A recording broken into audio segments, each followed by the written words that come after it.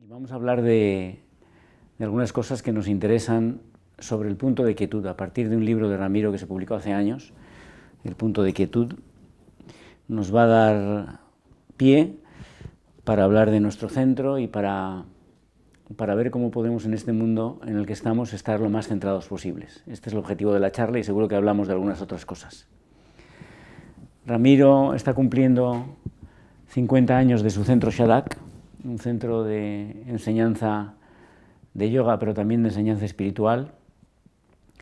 Está a punto de publicar su libro número 250, que es un libro que se va a titular o que se titula Lo que aprendí de mi gato Emil, que está a punto de salir.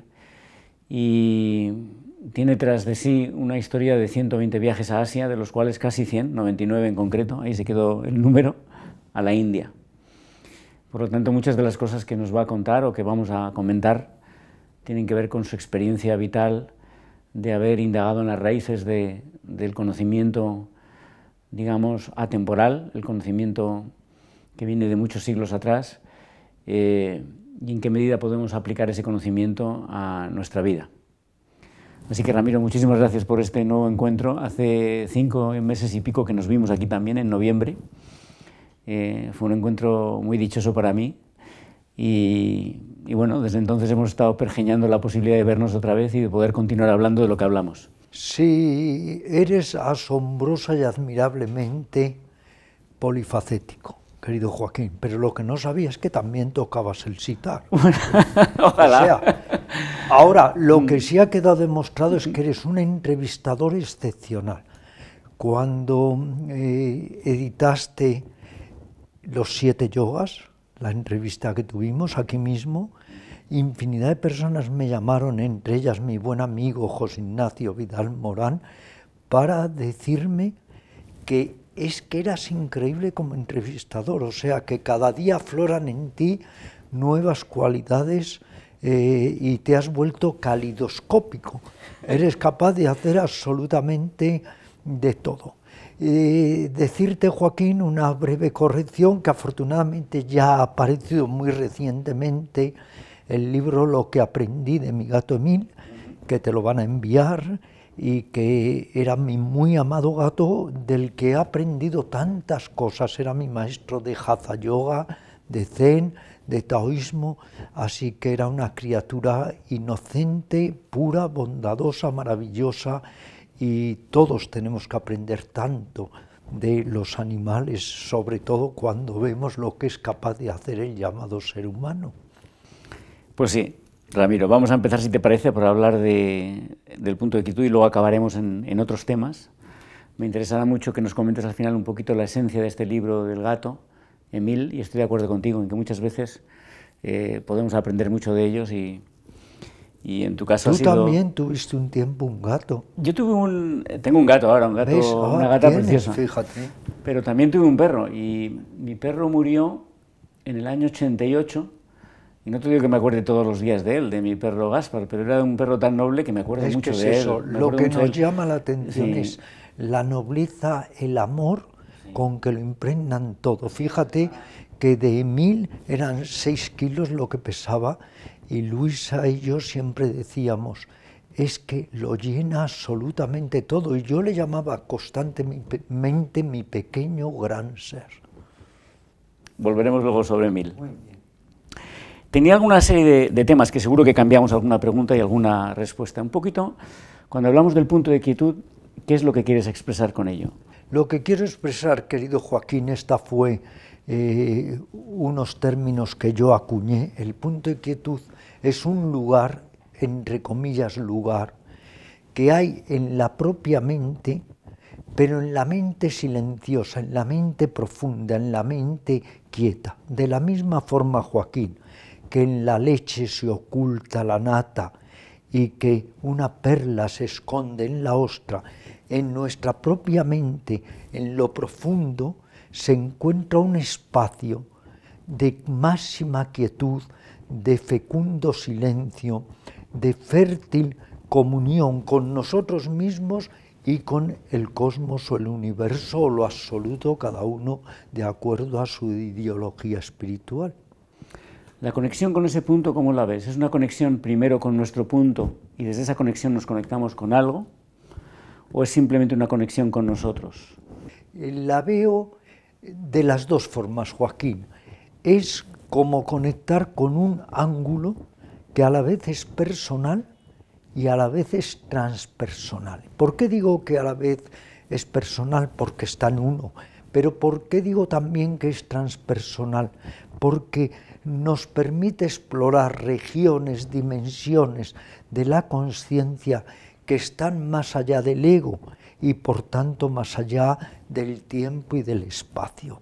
No olvidemos que el pensamiento es tiempo, es espacio, es pasado, es futuro, es proyecto, es cálculo, pero ese punto de quietud está más allá del ego y entonces se produce un fecundo, un revelador, me atrevería a decir, silencio interior que nos llena no sólo de nuestra propia esencia, sino de la esencia que compartimos con todas las criaturas vivientes.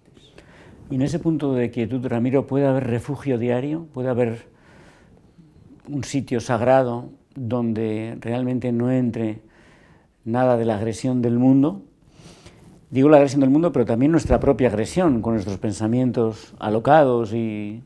Por supuesto, porque nosotros mismos cuánto nos agredimos, nos hemos convertido en grandes enemigos para nosotros mismos porque en nuestra mente prevalecen a veces esas tendencias insanas que decía Buda, que son la ofuscación, la avidez y el odio. Pero ese punto de quietud, ese lugar que está justo antes del pensamiento, en el origen, en la raíz del pensamiento, es nuestro verdadero refugio, porque en ese momento dejamos de lado, aparcamos el ego para vivir nuestra esencia o nuestro ser más profundo. En mi novela El Fakir le llamo a ese punto de quietud la mansión del silencio. Esa mansión del silencio no está fuera, está dentro de nosotros. Y tú lo sabes muy bien que practicas precisamente meditación del silencio.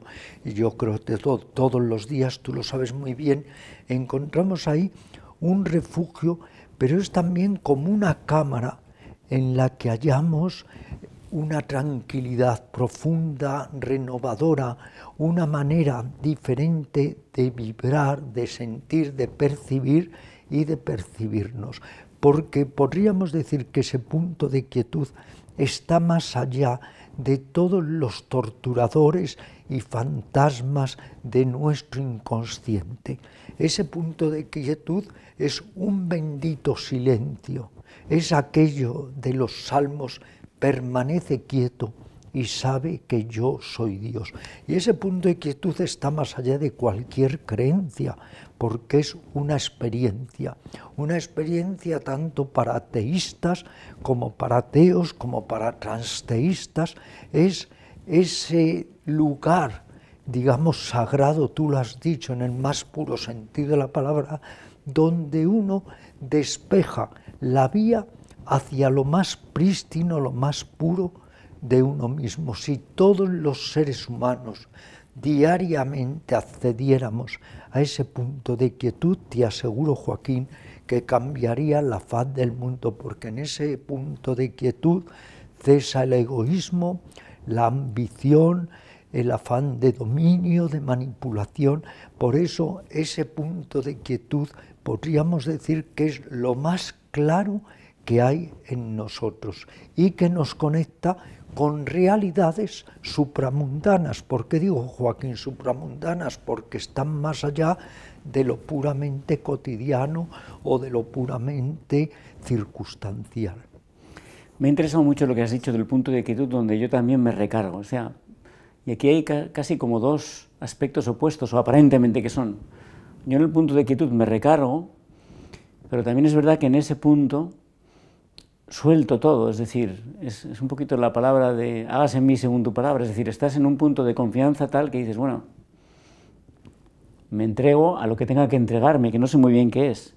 Es que en ese punto de quietud, al quedar ausentes de nuestro pequeño yo, podríamos decir que dejamos de lado la mente pequeña para conectar con la mente grande o con otra realidad o dimensión de conciencia muy diferente, porque ya no está basada en actitudes, en sentimientos, en proyectos egocéntricos. En ese punto de quietud soy.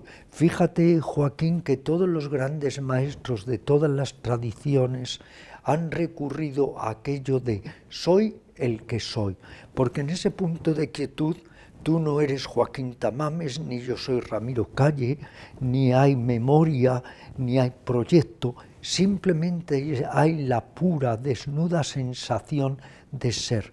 Pero eso nos resulta altamente renovador, porque es salirnos, aunque sea durante unos segundos, del bucle, del engrama cerebral de nuestros apegos y nuestros odios y conectar con una energía de inmensa, de infinita claridad. Al hablar de mente superior, eh, que llegamos ahí a través de ese punto de quietud, un símil puede ser que yo estoy en una situación desde el sótano y subo a un ático desde donde veo un panorama distinto. ¿En qué medida el punto de quietud puede ser entonces una puerta para llegar a la contemplación y de ahí a la gracia?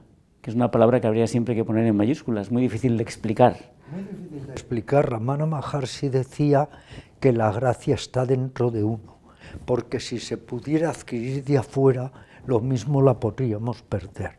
Él hablaba siempre de la gracia interior y del sadguru o del gurú interior. Es una lástima, Joaquín, que en la tradición cristiana se haya terminado totalmente por obviar desconocer e incluso menospreciar por infinidad de personas, aun de las instituciones cristianas, menospreciar todo ese maravilloso movimiento contemplativo que hubo en siglos anteriores donde se valoraba no la oración palabrera, sino la oración que nacía a través del silencio, la oración consciente y silenciosa.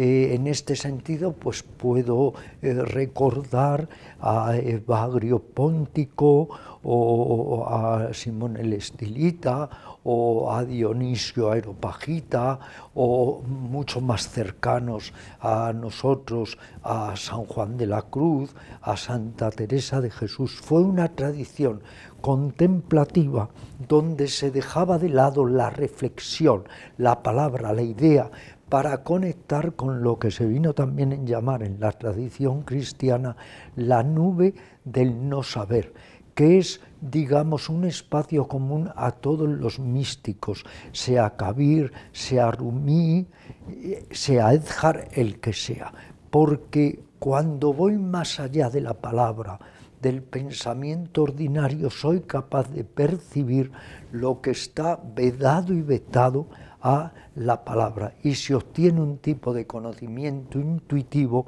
que es el que realmente nos ayuda a prosperar en la senda espiritual. La mente ordinaria juega un papel en nuestra vida diaria. Ahora tú y yo estamos utilizando la mente ordinaria para comunicarnos o al leer o al escribir o en nuestros proyectos personales. Pero esa mente es absolutamente insuficiente en cuanto a escalar a la cima de la conciencia. Siguiendo con el ejemplo que tú ponías, imaginemos un rascacielos. No percibimos y vemos lo mismo desde el sótano que si ascendemos al piso más elevado. La visión se hace más panorámica, se hace más amplia y somos capaces de comprender incluso lo que está más allá de los opuestos, porque nuestra mente ordinaria, Joaquín, siempre se está moviendo por amargo, dulce, calor, frío, arriba, abajo, pero esa es una mente celda, es una mente cárcel, es una mente que nos limita. Podemos aspirar a través de determinadas técnicas meditacionales y sobre todo de la introspección a otro tipo de mente infinitamente más omniabarcante. ¿Cómo pasamos desde la oración consciente, que me puede llevar a la gracia y a un punto personal de equilibrio, a trabajar con nuestra oración y nuestra mente por la humanidad, por la gente que sufre. ¿Cómo podemos nosotros realmente, esta tradición tan bonita que he leído en algún libro oriental, ¿no? mandar flechas benignas que puedan sanar a personas concretas con las que estás viviendo y que quieres ayudar sin poder ayudarlas más que con tu mente, o también a situaciones mucho más amplias, ¿no? como la que estamos viviendo ahora de sufrimiento en el mundo. Eh, ¿Cómo podemos con nuestra mente hacer ese trabajo? Te voy a decir algo que decía Muktananda cuando le entrevisté allí allá por los años 80 en Suarran, que estaba a 80 kilómetros de Bombay. Y él decía que el poder del pensamiento es tan grande que decía algo que en principio es chocante. Decía, 100 mentes pensando positivamente generan mil mentes pensando positivamente. Pero añadía, fíjate, cien mentes pensando negativamente generan cien mil mentes pensando negativamente. O sea, le daba como más poder al pensamiento negativo que al positivo. ¿Por qué? Porque la mente del ser humano en principio es como si estuviera discapacitada.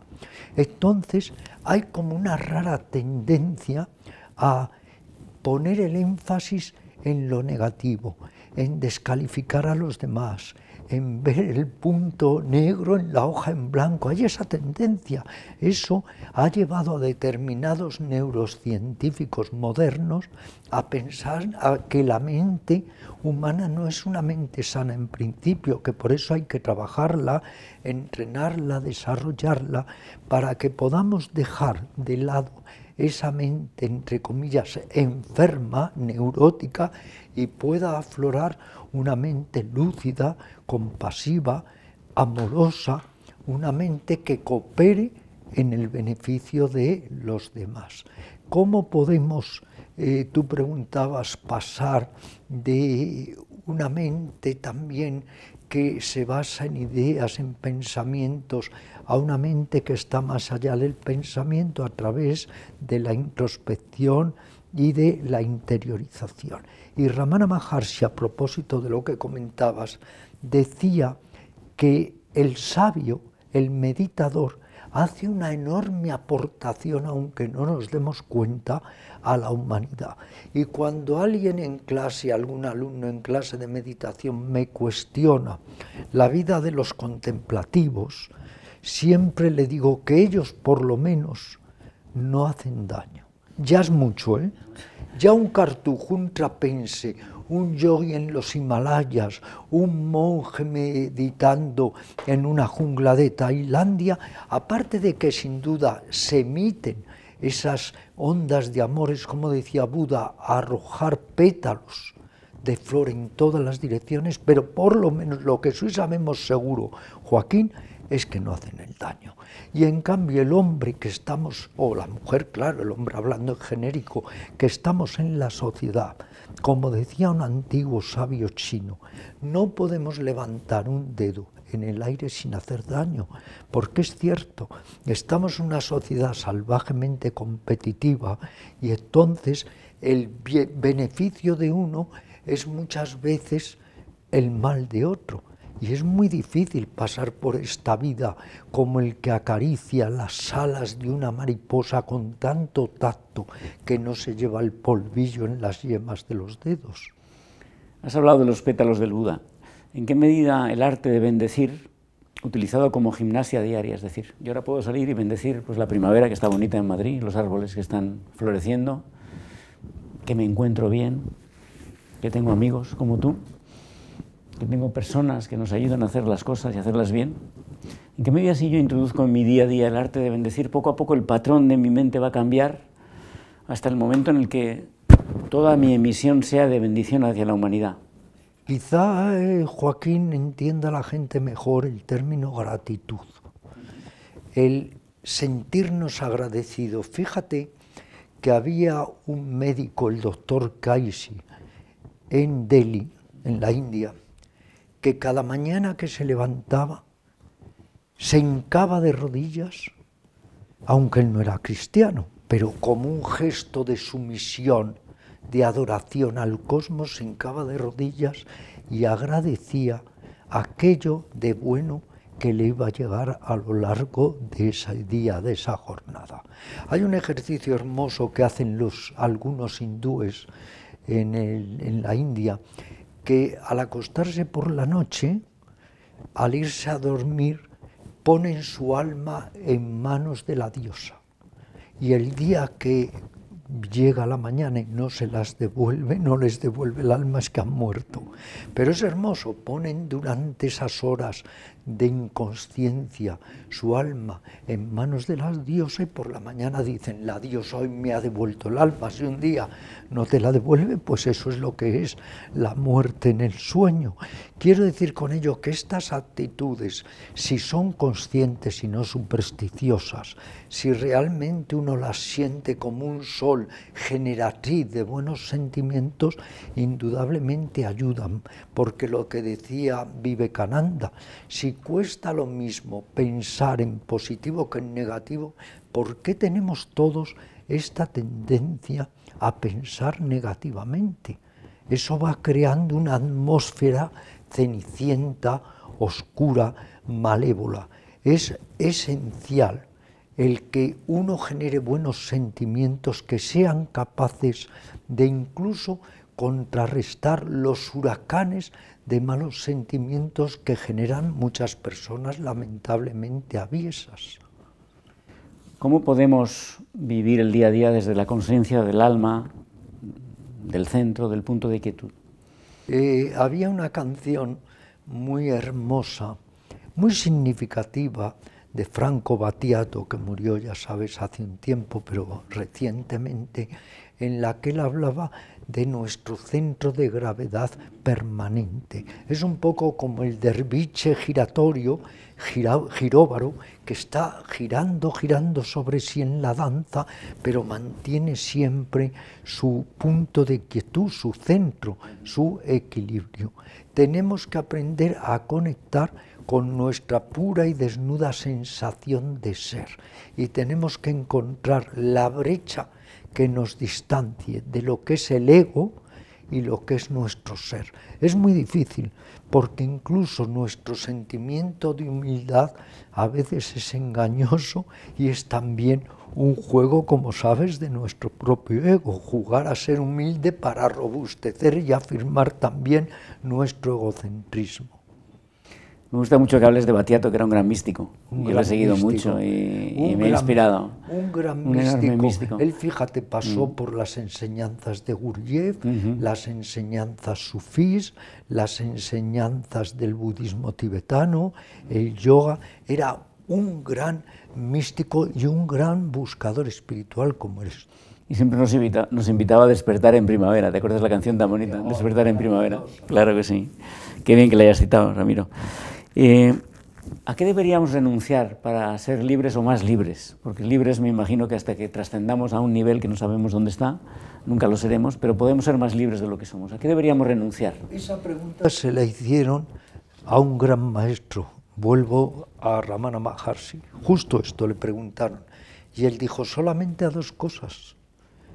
A la necedad o estupidez y al egocentrismo. Dijo él que ni siquiera era necesario, como algunos aspiraban, a cambiar de país, de lugar, irse al Himalaya, a los Andes, a los Pirineos, a una gruta, a un arran, no. En cualquier lugar lo que hay es que renunciar a la ignorancia básica de la mente, que es necedad, y renunciar, por supuesto, a nuestro egocentrismo. El ego es lo que pierde al ser humano. ¿Por qué el animal es mucho más noble?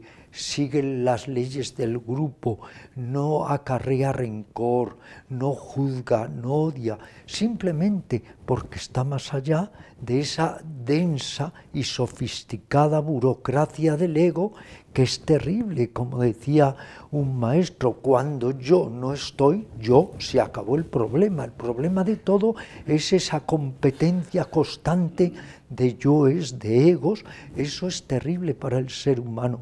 Pero claro, Joaquín, la pregunta es, ¿es que somos seres humanos? No. Todos los grandes iniciados y maestros, tú lo sabes, dicen que estamos en la senda para humanizarnos. ¿Quiénes humanizan? Los que realmente siguen una disciplina y tratan de que su conciencia evolucione, pasar de una conciencia crepuscular a una conciencia desarrollada.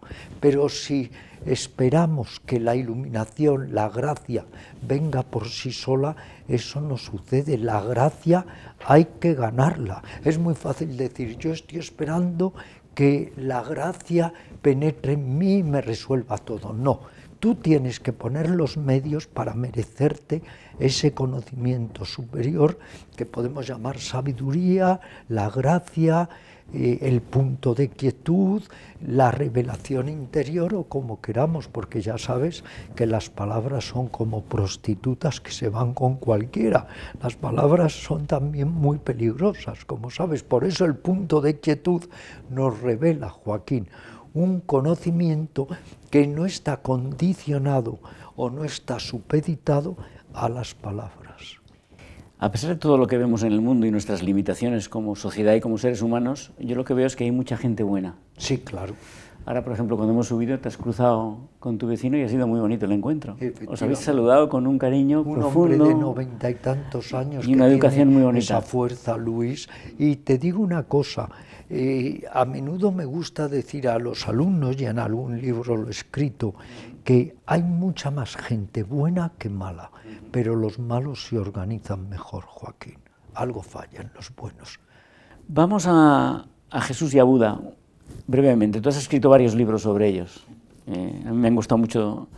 Debo decir que esta mañana he contado los libros que tengo tuyos en, en mi biblioteca, son 92 todos leídos. Desde luego. Muchos subrayados. Oye, decía que, eras, decía que eras polifacético, pero lo que no sabía es que eras masoquista, Joaquín, por favor. Me encanta, 92 libros, os he contado esta mañana, y con este nuevo de Emil serán 93. Y varios son de Buda y de Cristo separadamente o de Jesús juntos. ¿Qué te resuenan, qué resuenan en ti estas dos figuras históricas? ¿Y qué, mensaje podemos coger de ellos, el de aplicables en el día a día de hoy. Las enseñanzas son puntos de partida, Joaquín. Se nos da una enseñanza, pero para luego pasar de esa creencia a la experiencia. Por eso siempre digo que el yoga no se mueve por creencias, se mueve por experiencias. Tú puedes creer mucho en el pranayama y si no lo practicas no te sirve obviamente para nada. Para mí son todo diferentes laderas hacia la misma cima de la montaña. Una ladera es Buda, otra ladera es Jesús, otra ladera es Lao Tse, otra ladera es Pitágoras, otra ladera puede ser Tilopa, en fin, hay muchas laderas hacia la cima de la montaña. Pero si te das cuenta, la montaña es la misma. O sea, le puedes llamar de una u otra forma a cada ladera, pero la montaña en sí es la misma. Lo que sucede es que cada maestro, dependiendo de su época y de la latitud donde ha vertido su enseñanza, se ha visto obligado para hacerse entender a compartir creencias de esa latitud o de esa región del mundo pero todos apuntan a lo mismo, todos apuntan a liberar la mente de sus venenos y a que pueda aflorar lo mejor eh, de nosotros mismos y realmente nos podamos humanizar y darle un sentido a la vida. Como decía Babaji Sivananda de Benares, que visitó también y entrevistó nuestra queridísima y admirada amiga Berta, como decía, venimos a este mundo para ayudar a los demás. Estamos un tiempo y como este no es nuestro verdadero hogar, luego partimos. Y él decía, lo único importante de la vida es la paz más el amor o el amor más la paz. ¿Cómo encuadrarías el mensaje del, noble camino de en medio? Los pares de opuestos que has dicho antes, el frío, el calor, el odio, el amor, ¿Y cómo podemos trazar ese camino en medio que sea la ecuanimidad, el equilibrio? Sabes, Joaquín, que hoy en día, en esta sociedad convulsa en la que vivimos, la ecuanimidad es más necesaria que nunca. La ecuanimidad no es indiferencia, no es frialdad, no es impasibilidad. La ecuanimidad es el justo medio, la ecuanimidad es desconfiar de los extremos.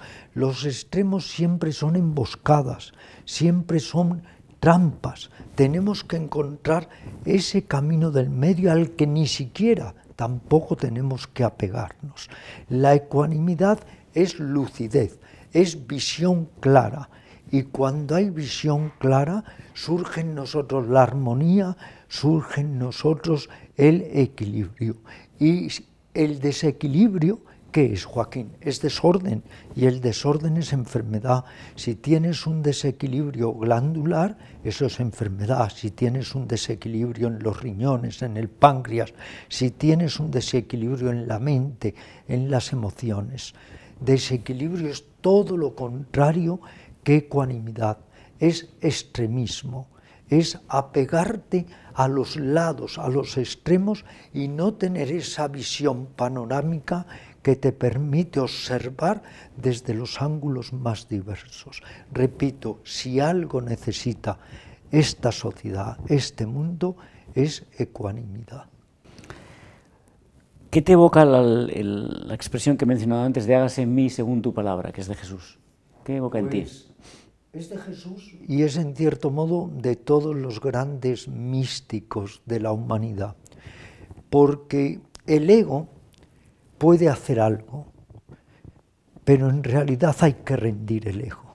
Lo importante al final es rendir el ego para que fuerzas más superiores que yo puedan también actuar por mí mismo, dejar el camino expedito a las fuerzas más poderosas, más luminosas dentro, cuidado, y fuera de mí mismo, porque igual que el pez vive en el lago, nace en el lago, en el agua, muere en el agua, se reproduce en el agua, se alimenta en el agua, todos nosotros vivimos en ese agua, entre comillas, que es la energía cósmica, y por eso hay aquel adagio hindú que reza, al herirte me hiero.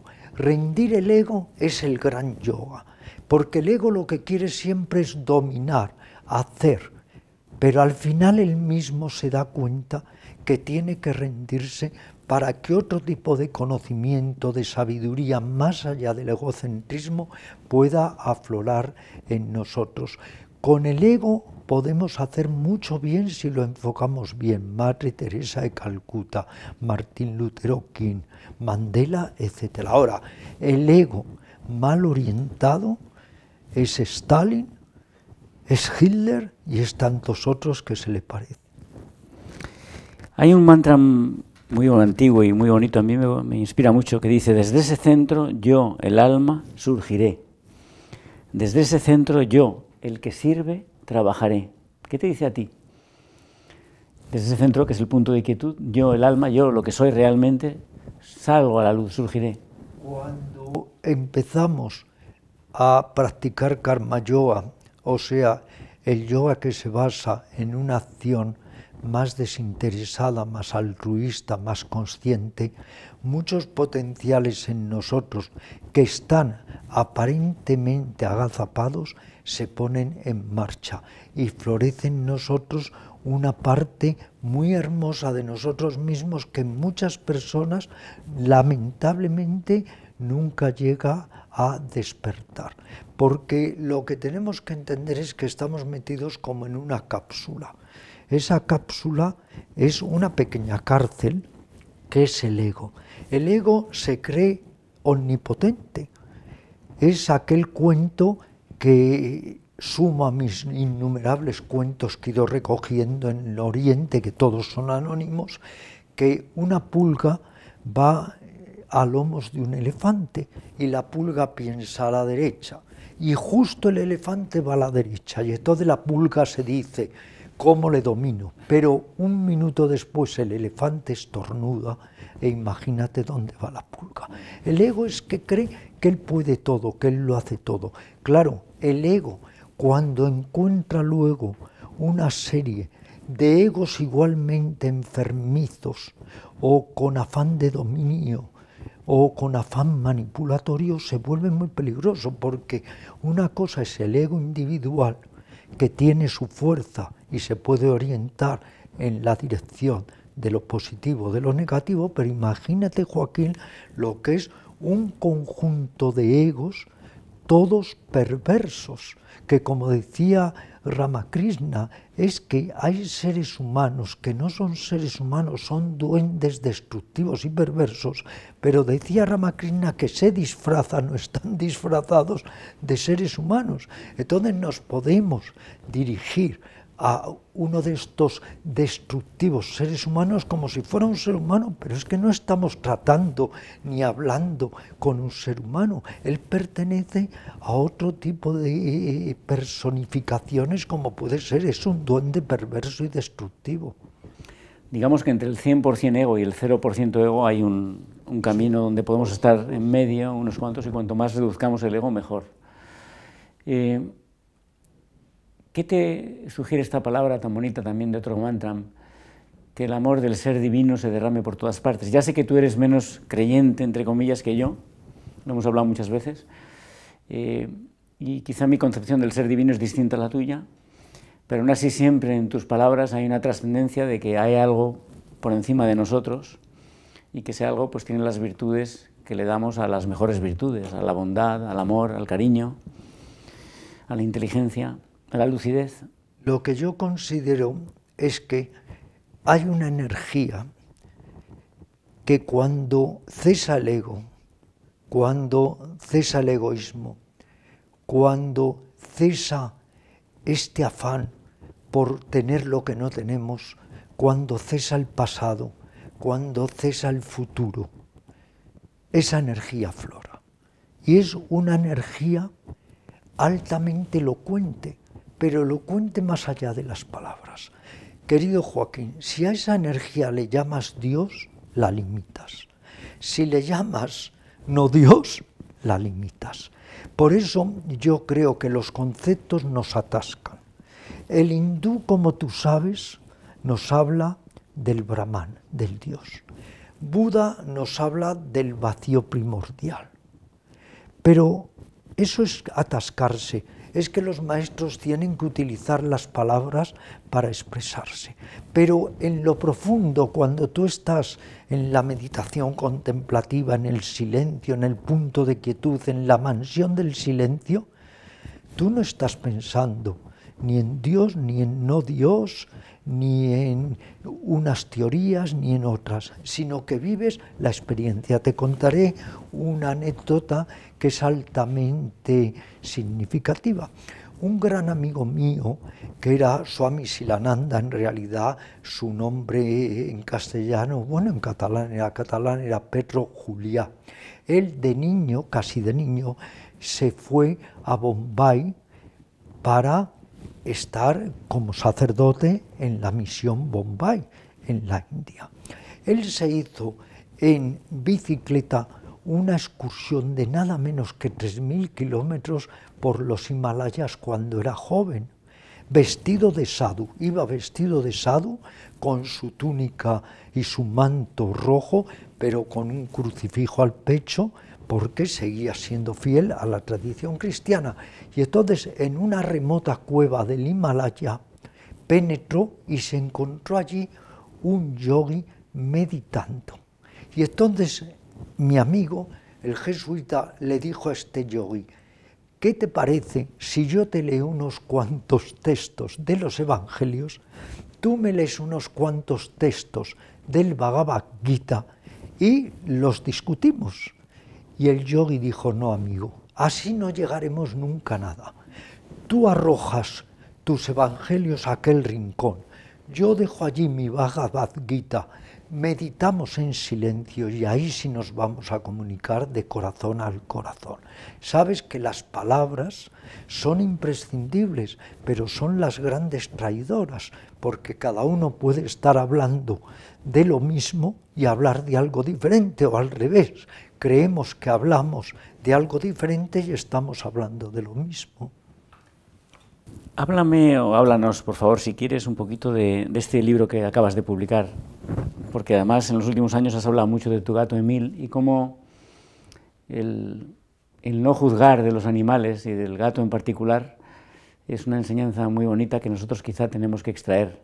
El vivir en el presente, como ellos hacen también, y, y el no juzgar y también el, la fidelidad que tienen, el amor La- que tienen la siempre. lealtad, Mira, a lo largo de 11 años y Mm, 3 meses que ha vivido con nosotros, todos, todos, todos los días nos recibía. En el momento que llegábamos ya estaba en la puerta. Él intuía, vivimos en un séptimo, intuía, ya oía el ascensor y no ha habido una sola vez que no nos recibiera en la puerta a lo largo de 11 años y 3 meses. Era amor, era bondad, era inocencia, era pureza, era lealtad. Y yo decía a menudo en las charlas que daba, quien más me quiere es mi gato Emil porque no me juzga. Era todo, me lo ha dado todo. Mira que yo he conocido maestros, como sabes, mentores, yogis, eruditos, sadhus, pero es que he aprendido con Emil más que con nadie, porque su independencia también era una enseñanza. Amar, pero desde la independencia, no atosigando. La ternura, sobre todo la ternura, que es lo que tanto necesita esta sociedad. La incondicionalidad, esa entrega incondicional que es tan difícil encontrar incluso en el mejor amigo, porque como dice el adagio árabe, ningún amigo es tan amigo que no te pueda en un momento traicionar, ni ningún enemigo es tan enemigo que en un momento no te pueda salvar la vida. Yo te digo que he amado, amo, amaré profundísimamente a mi gato Emil y que ha sido todo para mí. Y por eso he escrito este libro con el mayor amor, porque con Emil también me comunicaba a través del silencio. Siempre estás en esa conexión gloriosa, bendita del silencio. Eso es maravilloso. Ya con los animales baste por sí más allá de las palabras y no discutes y no polemizas y no hay nunca ningún atisbo de rencor ni de crueldad. O sea, es que, ¿qué te voy a decir? Me lo he enseñado todo. El que lea este libro se quedará perplejo porque dirá, una persona como Ramiro, que ha pasado por tantos maestros, ¿cómo valora tanto a su gato Emil?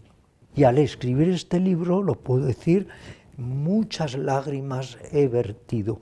Porque fíjate, decía San Juan de la Cruz, al que leo muy a menudo, decía que le desesperaba, desfallecía esa noche oscura del alma, porque te falta la figura y la presencia del ser amado.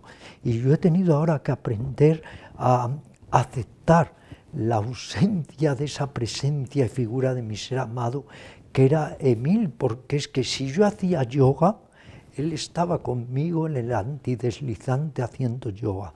Las muchas horas que estaba escribiendo, él se colocaba a mi lado a escribir. Dormía en mi cama, o sea, era el compañero más fiel que se pueda tener, como tú ese perro que perdiste. Así es, nos quedan dos minutos, si te parece, Ramiro, vamos a ir cerrando con dos consideraciones que me gustaría preguntarte. La primera es, a pesar de todo, y de, del mundo y de nosotros, ¿la vida es hermosa o no es hermosa? Punto primero, es una pregunta un poquito... Eh, la segunda, ¿cómo estás afrontando tú este momento de la humanidad tan terrible, de, una guerra en Europa, que pensábamos que no pudiera ocurrir, que un país invada a otro, manu militari, ¿no? con tanques y con misiles a, edificios de vecinos y a colegios, etcétera. ¿Cómo lo estás viviendo? Y la tercera es, en esa unión que tú llevas tantos años explorando, la del yoga, ¿no? ¿Llegará un momento de unión donde todos estaremos reconociéndonos? Eh, cuando yo le pregunté a un maestro, y yo soy hiperrealista, Joaquín, y no un visionario, cuando le pregunté a un maestro, ¿qué pasaría si todos alcanzáramos el nirvana? Me dijo con una gran risa, risotada, no se preocupe, eso no va a pasar nunca. Quiero decir que unos encontrarán esa paz, liberarán su mente del odio, de los celos, la envidia, la rabia, pero otros no porque no tienen ningún interés en ello. Entonces, Joaquín, cuando te regodeas en tu propia miseria interior, en tu veneno, en tu instinto de muerte, pues nunca vas a salir de él, lo vas a estar siempre prolongando.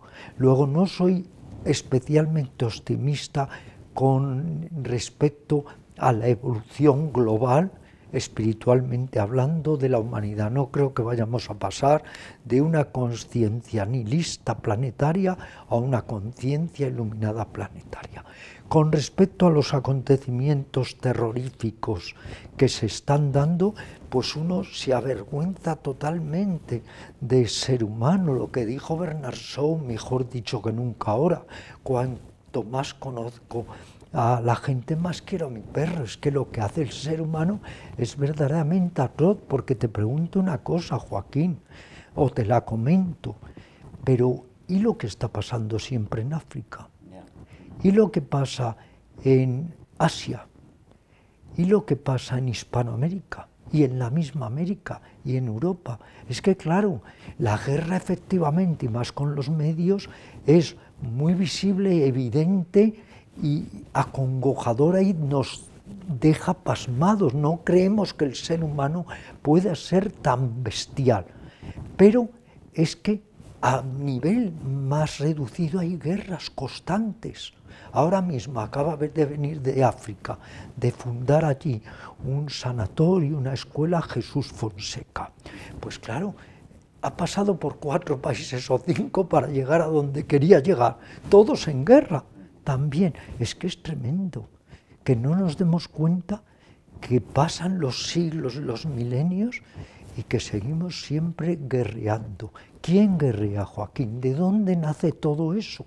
De mentes perversas. Mentes que, como no las podemos controlar, porque ellas no se controlan, estamos inermes. Otra cosa, Joaquín, que me gusta mucho de Germán Gese escribía Germán Gese, no creo en ninguno de los valores que propicia nuestra sociedad, pero también Stefan Zweig decía algo que es verdaderamente conmovedor y escalofriante. Decía, y pensar que millones de seres humanos estamos a expensas de lo que unos cretinos deciden en un simple despacho, ¿te das cuenta lo que es eso? Claro que sí. Eh, Ramiro, la última vez que nos vimos en, también grabando, cerramos la entrevista con esta cita tan bonita que del Buda, ¿no? Eh, la mente clara y corazón tierno. Es que es maravillosa, sí. Corazón compasivo. Eh, ¿En qué medida debe prevalecer una u otra? Y acabamos. quizá la mente clara es necesaria para tener un corazón compasivo, porque entiendes las cosas. Eso es justo. Eh, la, es la primera. La lucidez, mm. al final, Joaquín, te hace entender que todo es banalidad, accesorio, trivial, menos la compasión y el amor. Una mente clara ya es una mente compasiva. Es que si no, no es clara, si no es aquello de creo que sé, pero no sé, porque no procede en consecuencia, ¿sabes? Y acabamos ese programa magnífico que me hiciste, los siete yogas, efectivamente con mente clara, corazón tierno. Y este, si te parece, lo podemos acabar con algo que antes he dicho que es muy significativo. Al herirte, me hiero. Y al, querer, al quererte, me quiero también. Ciertamente. y al ayudarte, me ayudo. Y, recordemos de nuevo, Babaji Shivananda de Benares, lo único que le da sentido a esta vida es el amor más la paz interior. Pues nos quedamos con eso. Muchas gracias, gracias por todo, Joaquín. gracias.